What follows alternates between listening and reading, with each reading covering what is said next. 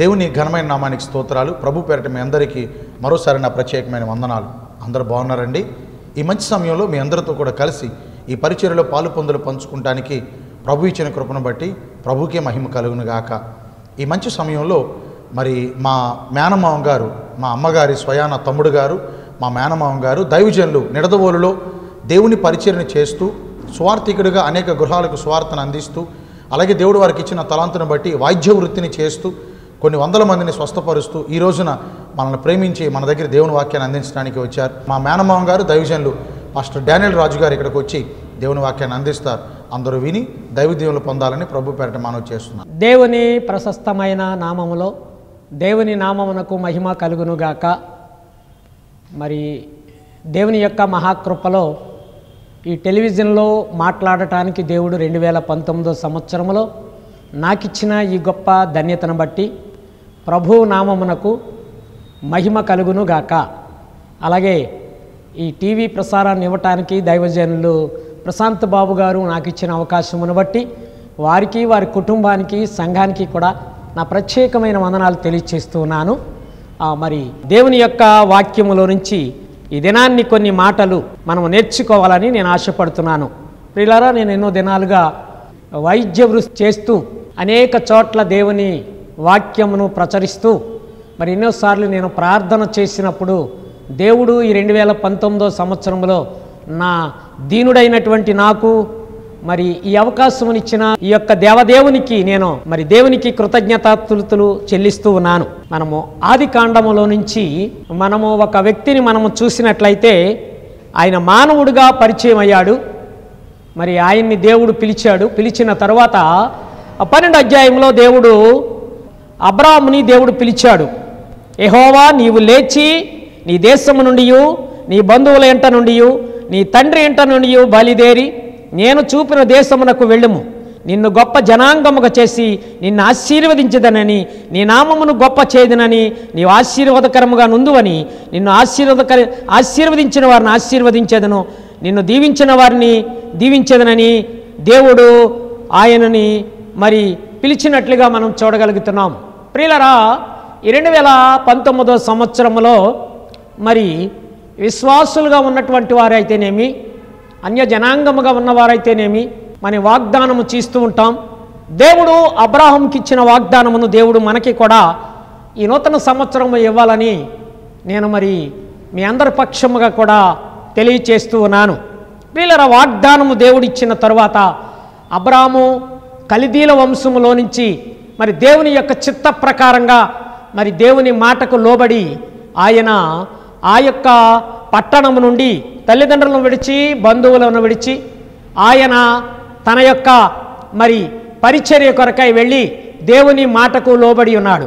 అప్పుడు దేవుని యొక్క మాట లోబడిన తర్వాత దేవుడు మరి ఆయనకిచ్చిన ఆధిక్యతను బట్టి దేవుడు అతనికి మరి చెప్పిన మాట ప్రకారంగా ఆయన మరి గుడారము వేసుకొని అక్కడ దేవునిని మహిమపరిచినట్లు మనం చూడగలుగుతున్నాం. ప్రియులరా ఆయన ఎప్పుడు కూడా ప్రార్థన చేస్తూ ఉండేవాడు ఆయన.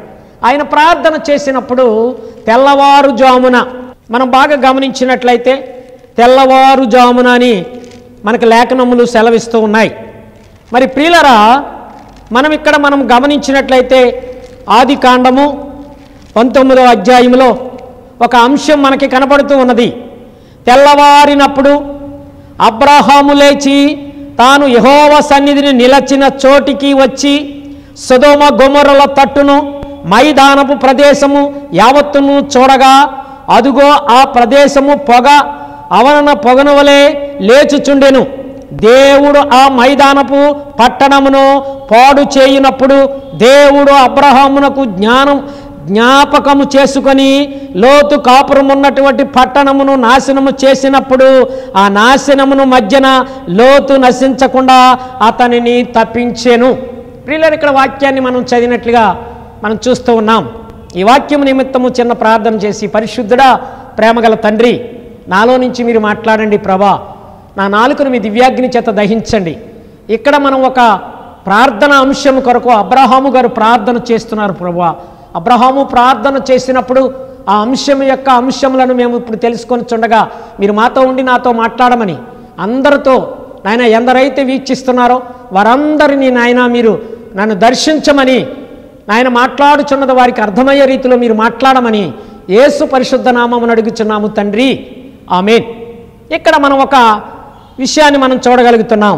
ప్రియులరా అబ్రహాము మమ్మిరే దగ్గర ఉన్న సింధూర వనములో ఉన్నప్పుడు దేవుడు దేవదూతలను పంపించాడు. దేవుడు దేవదూతలను పంపించిన తర్వాత దేవుడు అబ్రహాముకి మొట్టమొదట పిలిచినప్పుడు దేవుడు చెప్పాడు నీ తండ్రి ఇంట నుండి నీ బంధువుల ఇంట నుండి నీవు బయలుదేరు వెళ్ళుము. నేను చూపుచున్న దేశమునకు నువ్వు వెళ్ళి అక్కడ నిన్ను గొప్ప జనాంగముగా చేసేదనని దేవుడు తెలియజేసిన రీతిని బట్టి మనం ఇప్పుడు మనము వింటూ ఉన్నాం. ప్రియులరా ఇక్కడ దేవుడు పిలిచినప్పుడు ఈయన చేసినటువంటి ఆ మొదటిగా ఏం చేశాడంటే తన అన్నగారు కొడుకు అనేటువంటి లోతును వెంటబెట్టుకుని వెళ్ళాడు. వెళ్ళిన తర్వాత కొంతకాలం కాపురం చేశారు. కాపురం చేసిన తర్వాత వారి మేకల మందలకి వీరి మేకల మందలకి పశువుల మందలు కాసేటువంటి పశువుల కాపర్లకి అబ్రహాము యొక్క పశువుల కాపర్లకి లోతు యొక్క పశువుల కాపర్లకి అక్కడ చిన్న తగాద జరిగినప్పుడు అక్కడ వారిద్దరూ కూడా దేవుని యొక్క చిత్త ప్రకారంగా లోతైతే అందమైనటువంటి పట్టణము. ఆ పట్టణం వైపు వెళ్ళి అక్కడ కాపురం ఉన్నట్లు మనం చూడగలుగుతున్నాం. ఆ తర్వాత జరిగిన సంఘటన ఏమిటంటే మమ్మిలే దగ్గర ఉన్న సింధూర వనములో అబ్రహాము ఎండవేళ ఆ గుడారం దగ్గర నుండి ఆయన ప్రార్థన చేసుకుంటూ ఉంటుండగా దేవుని యొక్క ప్రత్యక్షత అక్కడ అబ్రహాము చూసినట్లు చూడగలుగుతున్నాం. దేవదూతలు ఎప్పుడైతే దర్శించారో ఎప్పుడైతే దేవదూతలు ఎప్పుడైతే దర్శించారో అప్పుడు అబ్రహాం చెప్తున్నాడు నా దాసులారా మా ఇంటికి వచ్చారు గనక నన్ను దాటిపోవద్దు. మా ఇంటికి వచ్చి మా ఇంటిలో ఆతిథ్యము తీసుకొని మమ్మల్ని ఆశీర్వదించి వెళ్ళమని వారిని ప్రాధేయపడి వెళ్ళి తన భార్యకు తొందర పెట్టి వెంటనే విందు చేయించి వారికి విందును సిద్ధపరిచినట్లు మనం చూడగలుగుతున్నాం. ప్రియులరా అదంతా మనకి తెలిసిన విషయమే. అయితే ఇక్కడ ఒక మరి వాగ్దానం గురించి మీకు రెండు వేల పంతొమ్మిది వాగ్దానం గురించి మీకు నేను తెలియచేస్తున్నాను. అబ్రహాము వెండి బంగారములు కలిగి బహు ధనవంతుడై ఉన్నాడు కానీ అతనిలోకి ఉన్నటువంటి లోటు ఏమిటంటే అక్కడ పశువులు మందలు కాసేటువంటి కాపర్లు గొర్రెల కాపర్లు వారు వారు తిరుగుతూ అనేక చోట్ల గుడారాలు వేసుకుంటున్నప్పుడు అక్కడ అనేక మంది ఆ యొక్క షేరాను నీచికంగా మాట్లాడిన మాటలు. ఇక్కడ ముసలది ముసలాయన గొడ్డుమోతుది అలాగే పిల్లలు లేనటువంటి అబ్రాహ్మని వారు మాట్లాడుతున్నప్పుడు వారి మనస్సు చాలా వేదనకరమైనటువంటి జీవితంలోకి వెళ్ళినప్పుడు అబ్రాహము ఎన్నోసార్లు ప్రార్థన చేసి నీవు దేవుడు చెప్పినట్లుగా దేవుడు చెప్పాడు నీవు అబ్రహాము యొక్క కుమారుడు అబ్రహాము ఇస్సాకు యాకోబులని దేవుడు మనం ఇంకా ముందుకెళ్ళినట్లయితే దేవుడు అక్కడ మనకి బయలుపరుస్తూ ఉంటాడు. ప్రియులరా మనం అబ్రహామును చూసినట్లయితే చాలా విషయాలు మనం నేర్చుకోవాల్సిన అవసరం ఎంతైనా ఉన్నది. అవిశ్వాసులైన వారికి విశ్వాసములో ఉన్నటువంటి మనము ఆ విశ్వాసమును గురించి తెలియపరచడం అవసరం ఎంతైనా ఉన్నది ప్రియులరా. ఎందుకంటే ఈ లోకములో ఈ రెండు వందల యాభై దేశాలు ఉన్నాయి. రెండు వందల యాభై దేశాల్లో కూడా ఎవరు దేవుడో తెలియని ప్రజలు ఎవరిని ఆరాధించాలో తెలియనటువంటి స్థితిలో ఉన్నప్పుడు ఎవరు మాట్లాడని పరిస్థితిలో ఉన్నప్పుడు పిల్లల కొరకు ఎంతెంతో మంది ఎక్కడెక్కడికో తిరిగి గోదానాలు చేస్తూ వస్త్రదానాలు చేస్తూ మరి గంగ స్నానాలు చేస్తూ ఎన్నెన్నో మరి మొక్కుబడులు మొక్కుకుంటున్న పరిస్థితిలో అబ్రహాము యొక్క పరిస్థితి కూడా అలాంటి పరిస్థితి అయ్యున్నప్పుడు వంద సంవత్సరాలు నిండినప్పుడు దేవుడు అతనితో దేవుడు మాట్లాడి అతనికి దేవుడు వాగ్దానము దయచేశాడు. ఏమిటి ఆ వాగ్దానం అంటే వాగ్దానానికి కర్త అయినటువంటి దేవుడు ఆ వాగ్దానం విడిచినవాడు కాదు గనక అబ్రాహ్ముని జ్ఞాపకం చేసుకున్నాడు. అబ్రాహ్ముని జ్ఞాపకం చేసుకుని అంటాడు చూడండి ఒకసారి పదిహేడు అధ్యాయంలో చెప్తున్నాడు. పదిహేడు అధ్యాయము రెండవ వచనంలో అంటున్నాడు నాకును నీకును మధ్యన నిబంధనను నియమించి నిన్ను అత్యధికంగా అభివృద్ధి పొందించిన అతనితో చెప్పాను. అబ్రహాము సాగిలపడగా దేవుడు అతనితో మాట్లాడి ఇదిగో నేను నియమించిన నా నిబంధన నీతో చేయించున్నాను. నీవు అనేక జనములకు తండ్రి వగుదవని దేవుడు ఆయనతో వాగ్దానము చేశాడు ప్రియులరా. దేవుడు నమ్మదగినవాడు. దేవుడు ఎప్పుడు కూడా మరి ఆయన మాట ఇచ్చి తప్పే దేవుడు కాదు. నా దేవుడు ఎప్పుడు కూడా అన్యాయస్తుడు కాదు. ఎవరికి కూడా మరి మరి దేవుని యొక్క బిడ్డలైనటువంటి వారు ఎవరికి కూడా దేవుడు అన్యాయస్తుడు కాదు గనక. అబ్రాహ్ముకి వాగ్దానము చేసిన దేవుడు రెండు వేల పంతొమ్మిదో సంవత్సరంలో ఒకవేళ నీ కుటుంబంలో కూడా దేవుడు నీకు వాగ్దానాలు చేసి ఉండవచ్చు కొన్ని సంవత్సరాల క్రితం నుంచి నీవు వాగ్దానాలు తీసుకుని ఉండి ఉండవచ్చు. అయినా ప్రభా ఏంటి నాయన మాకు వాగ్దానాలు నెరవేరట్లేదు. అయ్యా నా కుటుంబంలో ఇలాగ కలతలుగా ఉంటున్నాం. నా కుటుంబంలో శోధన వస్తుంది. అయ్యా నా బిడ్డలు నా మాట వినటం లేదు. అయ్యా నా భర్త నా మాట వినటం లేదు. అయ్యా నేను అనేక అప్పులతో బాధలతో ఇబ్బందులతో ఉంటున్నానని నీవు ఒకవేళ అవిశ్వాసిగా ఉంటున్నావా? సహోదరి ఒకవేళ నీవు అవిశ్వాసిగా ఉన్నట్లయితే దేవుడు నీతో మాట్లాడుతున్నాడు ఈ మధ్యాహ్న సమయంలో. దేవుడు నీతో మాట్లాడుతున్నాడు టీవీ ప్రచారం ద్వారా. ఇక్కడ అబ్రాహాముని జ్ఞాపకం చేసుకున్నప్పుడు అబ్రహాముకు దేవుడు వాగ్దానం చేశాడు. దేవుడు మొట్టమొదటిగా అబ్రహామును అబ్రహాముగా మార్చాడు. తన పేరును మార్చాడు దేవుడు. శారాయిని శారాయిగా మార్చాడు దేవుడు. ప్రియులారా మనం ఇక్కడ గమనించినట్లయితే దేవుడు అబ్రహాముకి చేసిన వాగ్దానం ఏమిటంటే దేవుడు నీవు నీకు ఒక కుమారుడు పుడతాడని అక్కడ దేవదూతలో మమ్రే దగ్గర ఉన్న సింధూర వనములోకి విందుకొచ్చినప్పుడు వారు పలికిన మాట మరలా మేము మేము తిరిగి వచ్చేసరికి నీకు ఒక కుమారుడు పుడతాడు అతనికి ఇస్సాకు అని పేరు పెడతావు ఇస్సాకు అనగా నవ్వు అని వారు తెలియజేసి వారు వెళుతూ ఉండగా అబ్రహాము వారితో కూడా నడుచుకుంటూ వెళుతూ ఉన్నాడు. ప్రియులరా మనం ఆరుతో కూడా నడుచుకుంటూ వెళుతున్నటువంటి అబ్రహాముకి దేవుడు స్నేహితుడు గనక అబ్రహాముకి దేవుడు స్నేహితుడు ప్రియులరా అబ్రహాము దేవుడు మాట్లాడుకుంటే ఉండేవారు. అబ్రహాము దేవుడు మాట్లాడుకుంటున్నప్పుడు నా స్నేహితుడైన అబ్రహాముకి నేను తెలియజేయకుండా ఉంటానా? నాలో ఉన్నటువంటి ఈ విషయాన్ని అబ్రహాముకు తెలియజేయకుండా ఉంటానా అని అబ్రహాముకి దేవుడు తెలియచేశాడు. అయ్యా అబ్రాము ఇక్కడ సుధమ గుమర పట్టణం ఉంది. ఆ పట్టణము దేవుని దృష్టిలో చాలా మరి పాపము చేసి ఉంది. ఆ పాపం చేసిన పట్టణాన్ని నేను కాల్చివేయటానికి వెళుతున్నాను. కాబట్టి నీవు ప్రార్థన చేయమని దేవుడు చెప్పినప్పుడు అప్పుడు అంటాడు అయ్యా అక్కడ వంద మంది నీతిమంతులుంటే ఆ పట్టణాన్ని కాపాడతావా? అయితే లోతు అయితే అబ్రహాము యొక్క ఉద్దేశం ఏమిటంటే నా అన్నగారి కొడుకైనటువంటి లోతు అక్కడ ఉంటున్నాడు. ఒకవేళ కొద్దిమంది పనివారుండి కొంతమంది తన బిడలుండి వారందరూ కూడా దేవునిలో ఎదుగుతూ ఉంటే అనేక మందిని ప్రభు వైపు తిప్పుంటే ఒక పది మంది అయినా ఉండకుంటారా అని ఆయన వంద మంది ఉన్నటువంటి వారిని ఎనభై మంది తొంభై మంది అలాగే డెబ్భై మంది అలాగే అరవై మంది కానించి పది మంది వరకు వచ్చే వరకు స్నేహితుల్లా మాట్లాడుకుంటూ వెళ్ళారు ప్రియులరా. మనం ఇక్కడ చూసినట్లయితే ప్రియులరా అప్పుడు అబ్రహాముతో మాట్లాడి చాలించిన తరువాత దేవుడు తన ఇంటికి వెళ్ళెను. అబ్రహాము అక్కడికి వెళ్ళి ప్రార్థన చేయిచుండెను. తెల్లవారినప్పుడు అబ్రాము తాను యహోవ సన్నిధిని నిలిచిన చోటికి వచ్చి సుధమ గుమ్మరోల తట్టు ప్రార్థన చేసినని ఇక్కడ ఈ అంశాన్ని మనం చూడగలుగుతున్నాం. ప్రియ సహోదరుడా ప్రియ సహోదరి నీ కుటుంబంలో ఒకవేళ శోధనగా ఉందా? నీ కుటుంబంలో నీకిచ్చిన దేవుడు వాగ్దానం నెరవేరట్లేదా? నీ బిడ్డలు నీ యొక్క అడుగుజాడలో నడవట్లేదా? నీ బిడ్డలు నీ వైపు తిరగటలేదా? నీ భార్య నీ మాట వినకపోతుందా? ఒకవేళ నీవు అవిశ్వాసిగా ఉన్నావా?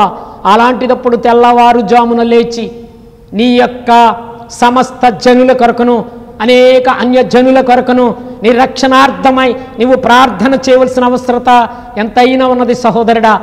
నీవెంతైనా అబ్రాహము వలె నీవు ఆ యొక్క వాగ్దానము నెరవేర్చబడుటకు నీవు సిద్ధపడినట్లయితే నీ యొక్క ప్రతి అవసరత తన ధననిధిలోంచి దేవుడు తెరుస్తాడు. మంచిది. ఇక్కడ మనము మొదటి యొక్క తెల్లవారుజాము చూసాం. రెండవ తెల్లవారుజాము మనం చూద్దాం. ఎందుకంటే ఇక్కడ మనము తెల్లవారుజామును చూసినట్లయితే ఇరవై ఒకటో అధ్యాయంలో ఆది కాండం ఇరవై ఒకటో అధ్యాయంలో ఒక అంశం ఉంటుంది. కాబట్టి తెల్లవారినప్పుడు అబ్రహాము లేచి ఆహారమును నీళ్ళ తిత్తిని తీసుకొని ఆ పిల్లవానితో కూడా హాగరుకు అప్పగించి ఆమె భుజములతో వాటిని పెట్టి ఆమెను పంపివేశాను. ప్రియులైన ఇక్కడ ఒక సన్నివేశం జరిగింది.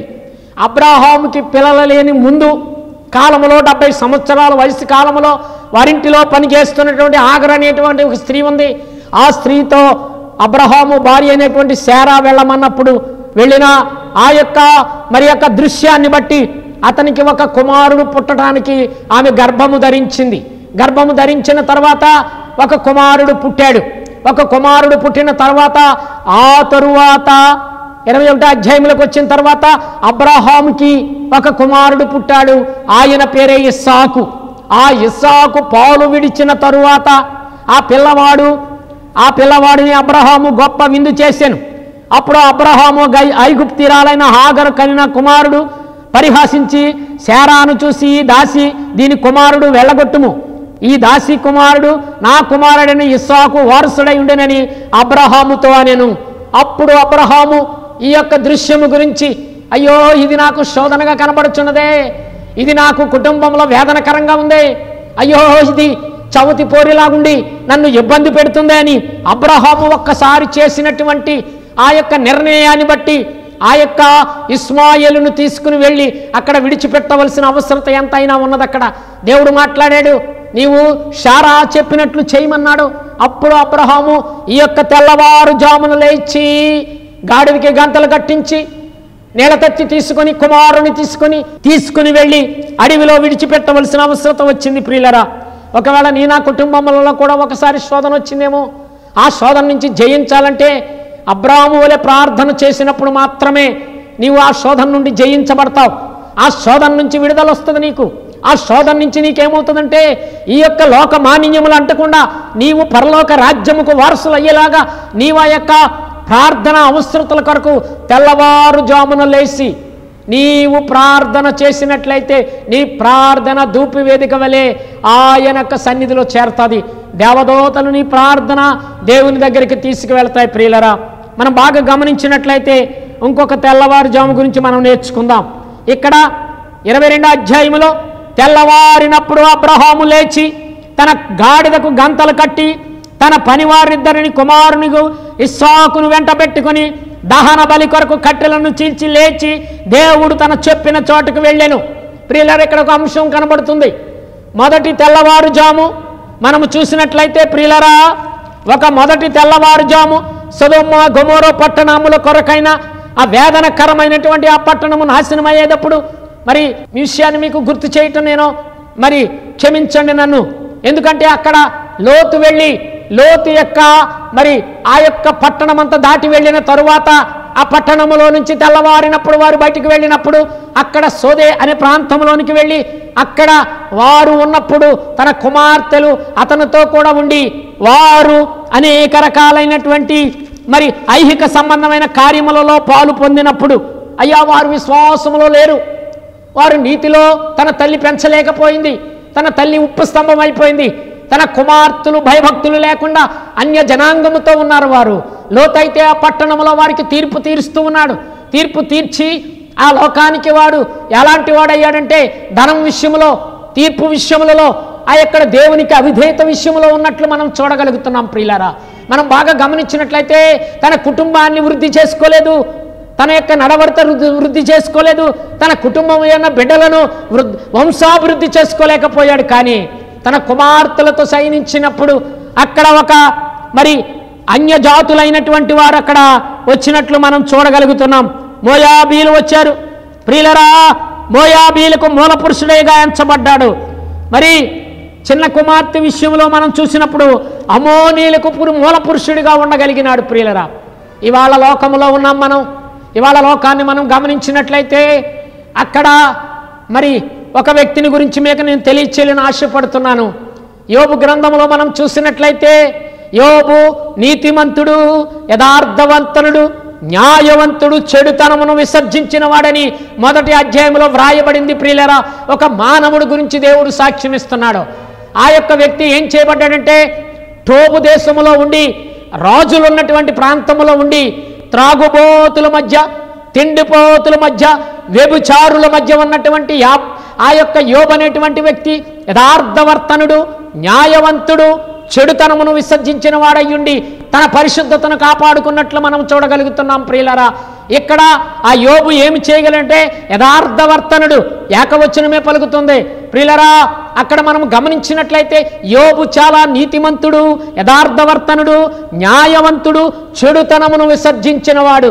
ఇప్పుడు మనము ఈ లోకములో లోకమానీయముల్లో ఉన్నాం మనం త్రాగుబోతుల మధ్యన ఉన్నాం తిండిబోతుల మధ్యన ఉన్నాం మనం వ్యభిచారుల మధ్యన మనం సంచరిస్తూ ఉన్నాం అన్య జనాంగం మధ్యన మనం ఉంటున్నాం కాబట్టి మన పరిశుద్ధతను మనం కాపాడుకుంటూ ఉండాలి.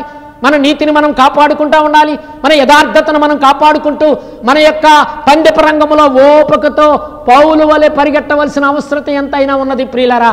ఇక్కడ మనం గమనించినట్లయితే అలాంటి యేసు ప్రభు లాంటి ఓ యొక్క నీతిమంతుడిగా మనం ఈ లోకంలోనికి వచ్చిన తర్వాత ఏ పాపం అంటకుండా ఆయన నీతిమంతుడిగా ఈ లోకములో ఉండి నీతిమంతుడిగా యథార్థవర్తనుడిగా ఉండి ఈ లోకములో అనేక మంది మధ్యన ఆయన సంచరించి తన యథార్థతను కాపాడుకొని మన పాపముల నిమిత్తము మన అపరాధముల నిమిత్తము మనము చచ్చిన వారమై ఉన్నప్పుడు మన కొరకు మనము చేసిన పాపముల నిమిత్తం ఆయన సిలువ వేయబడి సిలువలో మన యొక్క పాపముల నిమిత్తం రక్తమును చిందించి తన పరిశుద్ధ రక్తమును చిందించి ఆయన తిరిగి లేచి ఆరోహణమై వెళ్ళి మన కొరకు శిలము సిద్ధపరచ వెళ్ళుచున్నాడు గనక ఆయన యొక్క నిత్యరాజ్యములో మనం చేరటానికి మనం యోగ్యులుగా ఉండాలి. ప్రియులరమల నేను అంశంలోనికి వస్తున్నాను.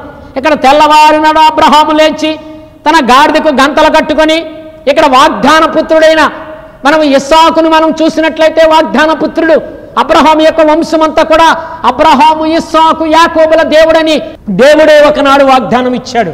దేవుడే నేను ఫలానా దేవుడిని. ఆడు ఐగుప్తు వెళ్ళినప్పుడు నువ్వు ఎవరి దేవుడిని చెప్పమని మోసి అడిగినప్పుడు నేను అబ్రహాము దేవుడను నేను ఇస్సాకు దేవుడను నేను యాకోబు దేవుడనని చెప్పమని మోషేతో చెప్పాడు ప్రియులరా. నేనా దేవుడు గొప్ప దేవుడై ఉన్నాడు. ఇక్కడ మనం చూసినట్లయితే ఇస్సాకు మరి అక్కడ బలి అర్పణ కొరకై తన్ను తాను రిక్తునిగా చేసుకున్నాడు. తను తాను తగ్గించుకున్నాడు. ఇవాళ కుమారుడు తండ్రి మాట వినడం అంటే ఎంతో కష్టమైనటువంటి రోజుల్లో మనం ఉన్నాం. అయితే అప్పుడు అక్కడ ఆ కుమారుడు అడుగుతున్నాడు ఏమనంటే తెల్లవారు జామున లేచి ప్రార్థన చేశాడు అబ్రాం అక్కడ మరి అక్కడ ఉన్నటువంటి పనివారం తీసుకున్నాడు గాడిదకి గంతలు కట్టాడు అక్కడ కట్టెలు తీసుకున్నాడు కత్తి తీసుకున్నాడు నీలబొడ్డు తీసుకున్నాడు తీసుకుని వారిద్దరూ కూడా పైకి నడుచుకుంటూ వెళ్తున్నారు. అడుగుతున్నాడు చిన్న కుర్రవాడు డాడీ అక్కడ మరి నీళ్ళున్నాయి అయ్యా మరి కట్టెలున్నాయి అయ్యా బలివ్వటానికి బలి పశువేదని అడిగాడు. అప్పుడు అబ్రాము ఎంతో ఒక్కగానొక్క కొడుకు దేవునితో వాగ్దానము చేసిన వాగ్దానం నెరవేర్చాలి కనుక ఆయనకి ఈయనకి మధ్యన ఒక నిబంధన ఉంది గనక. ఈ నిబంధన నెరవేర్చబడాలి గనక. మనము బలి ఇచ్చి తిరిగి వద్దామని చెప్పి తన యొక్క కుమారుడని ఇస్సాకుతో చెప్పాడు ప్రియులరా. దహన బలికి గొర్రె పిల్ల ఏదని అడిగినప్పుడు అబ్రహాము నా కుమారుడా దేవుడే దహన బలికి గొర్రె పిల్లను చూచుకొని నని చెప్పాను. అలాగు వారిద్దరూ కూడా వెళ్ళి దేవుడు అతనితో కూడా చెప్పిన చోటికి చెప్పినప్పుడు అబ్రహాము అక్కడనే నిలిచి బలిపీఠమును కట్టేను ప్రియులరా ప్రియ సహోదరి ప్రియ సహోదరుడా నీ కుటుంబంలో బలిపీఠం ఉందా నీ కుటుంబంలో ప్రార్థననే బలిపీఠం ఉందా నీ కుటుంబంలో ప్రత్యేకమైన స్థలం ఉందా నీ కుటుంబంలో ప్రార్థనా పొరలు లాంటి జీవితం కలిగి ఉన్నటువంటి కుమారులుగా నీ కుమారులు ఉన్నారా ప్రార్థన కలిగినటువంటి కుమార్తెలుగా నీ కుమార్తెలు ఉన్నారా ప్రార్థన చేయగలిగేటువంటి యోధురాలు నీ భార్య ఉండగలిగిందా? లోతు వల్ల నువ్వు ఇంకా లోకంలో తిరుగుతూ ఓ నువ్వు ఇంకా లోకంలో తిరుగుతున్నావా? రక్షణ భాగ్యము లేకుండా ఈ రెండు వేల పంతొమ్మిదో సంవత్సరంలో దేవుడు నాకు వాగ్దానం ఇచ్చాడు వాగ్దానం నెరవేరుస్తాడని. దేవుడు నమ్మదగిన వాడు వాగ్దానం ఇచ్చిన తర్వాత నెరవేర్చగలిగిన దేవుడు మన దేవుడు. అలాంటి దేవుడిని కలిగి ఉన్నటువంటి మనం అబ్రహాము ఇస్సాకు యాకోబుల్ లాంటి ఆశీర్వాదములకు కర్త అయినటువంటి దేవుడు ఆశీర్వాదమునకు వాగ్దాన పురుషుడైనటువంటి ఆ యొక్క ఇస్సాకు మనం చూడగలిగినట్లయితే తన త్యాగపూరితమైనటువంటి జీవితాన్ని తన యొక్క యవ్వన జీవితాన్ని తాను బాలుడుగా ఉన్నప్పుడే దేవునికి బలిగా అర్పించబడటానికి తను తాను రిక్తుడిగా చేసుకున్నాడు. ఓ ప్రియ సహోదరుడా ఓ ప్రియ సహోదరి ఒకవేళ నీవు నేనని కూడా ఈ రెండు వేల పంతొమ్మిదిలో ఎప్పటి వరకు నీవు ఇంకా రక్షణ పొందకుండా ఉన్నావా? ఇంకా నువ్వు మారు మనసు పొందకుండా ఉన్నావా? ఇంకా దేవుడు అంటే ఎవరో ఎరుగకుండా దేవుడంటే ఎవరో తెలియకుండా ఇంకా నీవు ఉన్నావా? ఒకవేళ నీవు ఆ స్థితిలో కానీ ఉంటే ప్రభువుని ఇప్పుడే మనం తెలుసుకుందాం. ప్రభువుని ఇప్పుడే సొంత రక్షకునిగా అంగీకరిద్దాం. ఈ టీవీ ద్వారా వింటున్నటువంటి ప్రతి ఒక్క సహోదరునికి ప్రతి సహోదరుడికి అయ్యో దేవుడు ఎవరో నాకు తెలియదు అయ్యో దేవుడు ఎలా ఉంటాడో నాకు తెలియదు అని అప్పుడు నీవు అనుకుంటున్నావా? ఓ ప్రియ సహోదరి నా మాటలు నేను ముగించే ముందు ఒక్కసారి మీకు నేను ఈ విషయాలు చెప్పాలనుకుంటున్నాను. అబ్రహాము తెల్లవారినప్పుడు ఆయన ప్రార్థన చేసినట్లు మనం చూడగలుగుతున్నాం. అబ్రహాముకు దేవుడు వాగ్దానం ఇచ్చాడు. నీవు లేచి నీ తండ్రి ఇంట నుండి నీ బంధువుల ఇంట నుండి వెళ్ళమని చెప్పి దేవుడు నీకు చెప్పాడు. అట్టి రీతిగా నీవు అబ్రహాము వలె విశ్వాసులకు తండ్రి అయిన అబ్రహాము వలె తన కుమారుడైన ఇసాకు వలె తన కుమారుడైనటువంటి యాకోబు వలె పన్నెండు గోత్రములకు గోత్రకర్త వాళ్ళ వలె నీవు నేను ఉందాం. ఈ రెండు వేల పంతొమ్మిదో సంవత్సరంలో ప్రతి ఒక్కరూ కూడా ప్రార్థన చేసుకుందాం. ప్రేమ నమ్మకం కలిగిన మా తండ్రి కృప కలిగిన మా తండ్రి దయ కలిగిన మా తండ్రి. ఈ టీవీ ఎందరైతే వింటున్నారో ఎందరైతే టీవీ వీక్షిస్తూ ఉన్నారో వారందరికీ రెండు వేల పంతొమ్మిదో సంవత్సరంలో ఇవ్వబోతున్నటువంటి ఈ యొక్క వాగ్దాన సంబంధమైనటువంటి ఆశీర్వాదములు ప్రభా ప్రతి వారి కుటుంబంలో నీవు సమృద్ధిగా దయచే ప్రభా. వారికి సమృద్ధిగా నీ యొక్క వాగ్దానములు దయచే ప్రభా. ఎవరైతే ప్రభువుని అంగీకరించకుండా ఉన్నారో ఎవరైతే ప్రభువుని అంగీకరించి వారి యొక్క కట్టడ ప్రకారం నడుచుకోకుండా ఉంటున్నారో వారందరికీ నీ రక్షణ భాగ్యమును వారికి అనుగ్రహించమని సరి దేవుని చిత్తమైతే మరొకసారి మళ్ళీ కలుసుకుని అందరితో కలిసి మాట్లాడే అనుభవాన్ని నాకు కూడా దయచేయమని ఇచ్చిన వాక్యం ప్రతి వారి హృదయంలో ఫలింపచేయమని వారిని నిండారుగా దీవించమని మీ యొక్క ప్రతి అవసరత దేవునిలో తీర్చి సహాయమును చేయమని ప్రభు అయినటువంటి యేసు క్రీస్తు నామం పెరట శక్తి కలిగిన నామములో ప్రార్థించి ప్రారంభించబడిన కోడికను దేవుడు నడిపించి సహాయము చేసి కాపాడును గాక ఆమెన్. అందరికీ వందనాలండి. దేవుడు మిమ్మల్ని దీవించునుగాక. ఇంతవరకు దైవజనులు డేనిల పాస్టర్ గారు చెప్పిన వాక్యాన్ని మీరందరూ విన్నారు కదా? మరి ఈ సమయంలో ప్రార్థన చేసుకుని ఈ పరిచయను మనం ముగించుకుందాం. అందరూ దయచేసి కన్నులు మూసుకుని ప్రార్థనలు ఏకీవించగలరని మనవి. పరిశుద్ధులను ప్రేమ కలిగిన మా ప్రియ పరలోకపు తండ్రి నీ కృప కలిగిన పవిత్రమైన నామాన్ని బట్టి స్తోత్రాలు. మరొకసారి ప్రత్యేకమైన సమయంలో మీ దాసులు డేనిల్ గారిని మీరు నిలబెట్టి టెలివిజన్ వీక్షకులకు అలాగే విన్న ప్రతి ఒక్కరికి మీరు అందించిన వాక్యాన్ని బట్టి స్తోత్రాలు. అలనాడు నీ పిల్లలందరికీ మీరు వాగ్దానాలు ఇచ్చారయ్యా. వాగ్దానాలు నెరవేర్చారు. ఆ వాగ్దానాలు వారి జీవితాల్లో నెరవేర్చబడటానికి ఆ వాగ్దాన ఫలాన్ని వారు పొందటానికి వారు తమ జీవితాల్లో చేసుకున్న ప్రార్థన అంశాలే వారిని ఆ రీతిగా ఇదిగో ప్రభు తృప్తిపరిచాయి. నేడు మా జీవితాల్లో కూడా మేము అట్టి వేకుజాము ప్రార్థన మా జీవితాల్లో అలవర్చుకుంటానికి కృప చూపించండి. దావీదు భక్తుడు సెలవిస్తున్నాడు. నేను వేకువనే లేచి యహోవాను స్తుతించేదను నా దేవుని నామం పెరట ప్రార్థన చేయదునని సెలవిస్తున్నాడు. అట్టి వాగ్దాన ఫలాన్ని మేము కూడా పొందాలంటే ఇదిగో ప్రభు మా జీవితాల్లో ప్రార్థన అనుభవాన్ని మాకు మీరు అనుగ్రహించమని ప్రార్థిస్తున్నాను. ఈ వాక్యాన్ని అందించిన మీ సేవకులకు మీరు ఆరోగ్యం దయచేయండి. టెలివిజన్ ద్వారా ఈ వాక్యాన్ని విన్న ప్రతి ఒక్క బిడ్డలను మీరు బలపరిచి వారికున్న సమస్యలు వారికి ఉన్న ప్రతి ఇబ్బందులు తొలగించి ఈ నూతన సంవత్సర ప్రత్యేక వాగ్దానాలతో బిడ్డలందరినీ తృప్తిపరచవలసిందిగా కోరుతూ ఉన్నాను. ఈ టెలివిజన్ యాజమాన్యాన్ని వారి సిబ్బందిని ఆయా దయతో దీవించి వర్ధలే చేయండి. అలాగే ఈ టెలివిజన్ కార్యక్రమాలు ఇలాగా కొనసాగించుట కొరకు మమ్మల్ని ప్రోత్సాహపరుస్తున్న ప్రియ స్పాన్సర్లందరినీ మీరు ఆశీర్వదించండి. మీ చిత్తమే మీరు అక్కడ అలసమైతే మరొక తరుణం కొరకు సిద్ధపరచమని యేసుక్రీస్తు నామములో అడుగుచున్నాను తండ్రి. ఆమెన్. ఈ కార్యక్రమము మీ అందరికీ ఆశీర్వాదకరంగా ఉందని నమ్ముచున్నాము. మీరు ఏ మందిరానికి వెళ్ళని వారైతే మా హోలీ ప్రేయర్ మినిస్ట్రీస్ మందిరానికి వచ్చి ఆత్మీయమైన విషయాలు తెలుసుకుని దేవునికి మరింత దగ్గరగా నడిపించే సత్యవాక్యాలు ఆలకించి దైవ దీవెనలు పొందవలసిందిగా ప్రభు పేరట మిమ్మల్ని ప్రేమతో ఆహ్వానిస్తున్నాం. ఈ పరిచయ ప్రోత్సాహపరచాలనుకుంటే మా చిరునామా holy Prem ministries door number ముప్పై రెండు డ్యాష్ ఇరవై ఆరు డ్యాష్ నూట పంతొమ్మిది బై ఐదు. మెయిన్ రోడ్ మసీద్ దగ్గర మారుతి నగర్ విజయవాడ నాలుగు. మా phone numbers nine eight double six three seven four five three nine. Nine eight four nine two nine six seven nine three. మా phone numbers nine eight double six three seven four five three nine nine eight four nine two nine six seven nine three. God bless you.